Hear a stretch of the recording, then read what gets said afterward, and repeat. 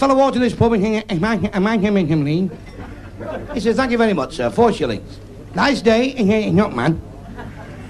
He said, the football was good at Wembley the other day with the French and the kids and that. He said, I'm not in football again.